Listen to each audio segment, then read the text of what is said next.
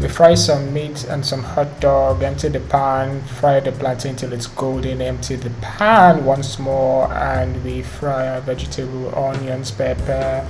um, carrot, green beans, stir it, uh, tomatoes, add the plantain back in, stir, add the meat and hot dog,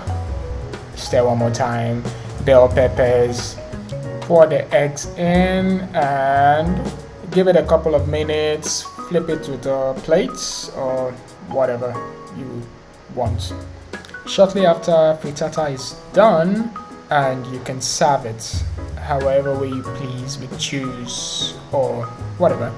If you're not subscribed please make sure you subscribe like share drop in your comments. Ciao